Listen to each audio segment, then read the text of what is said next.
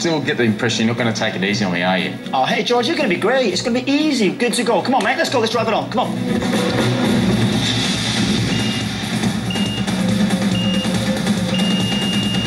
Later on in training, we carry packs, and it's a really heavy resistance. But before we do that, I've got to make sure that you guys can hold and control your body weight and that you're connected and your posture is good. So this is about just body weight only. Right, so what's going to happen? Body weight exercises are all about joint stability and posture. There, work and pull. You can movement and awareness of how you move. There, that's it. Breathe, breathe. Shoulders back. We have to wear packs all day, every day when we're in theatre, and that's 22 pounds of equipment plus your weapon. Pull your shoulders back.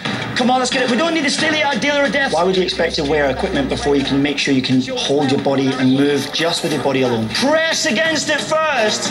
So what we're really looking to do now is to get that awareness because on the battlefield and on theatre, when you're carrying that equipment, it's really important that you can also have the personal mental discipline to hold still or to move quickly at any stage. Connecting the body at all times. Prepare to lift. Lift. Up together. Well done. It's a race. Let's go, let's go, let's go, let's go. Good teamwork, this team. Well done. Good teamwork. Change it around. Let's hear the calls. Change it around. Teamwork. And go. Come on, the Reds. Come on, the Reds. Catch up the Greys. Catch them up. Catch them up. Where was the finishing position?